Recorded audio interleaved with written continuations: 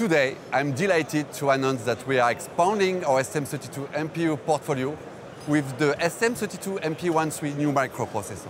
The MP13 is a cost-efficient MPU for industrial and secure application based on ARM Cortex-A7 core running up to 1 GHz. The typical application we see for the MP13 range from Industry 4.0 to payment terminal, smartphone, etc.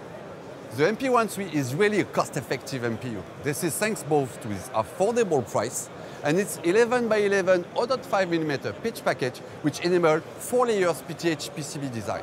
While our direct competition is based on six layers with costly laser vias.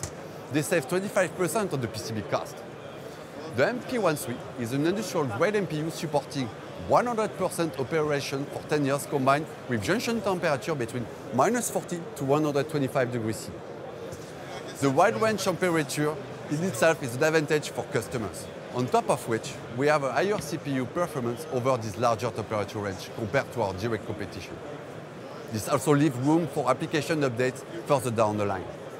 As usual, the STM32 MPUs are coming with a strong legacy like our 10-year rolling longevity commitment and strong regional technical support. We have a dedicated hardware and ecosystem for very fast integration of customer projects. Firstly, we have mainline OpenST Linux with associated longevity and support. Secondly, we have new software support like Linux RT, bare metal, and Microsoft Azure RTOS support. And thirdly, of course, our STM32 Cube ecosystem tools. We have also significantly enhanced security feature for IoT, industrial, and payment applications.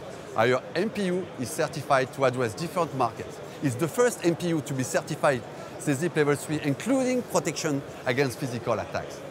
We also did PCI 6.0 pre-certification and finally ARM PSA Level 1 certification. And last but not least, it's best in class in low power modes. For instance, you can save over 90% in standby mode and VBAT compared to direct competition. In a nutshell, the MP13 is your next companion for a cost and energy efficient MPU with certified security for entry-level Linux, bare metal, or RTOS-based system. And it's here. It's in full production and sample and board are available to your preferred distributor. If you want to know more info, check out st.com slash STM32MP1. Thanks for watching.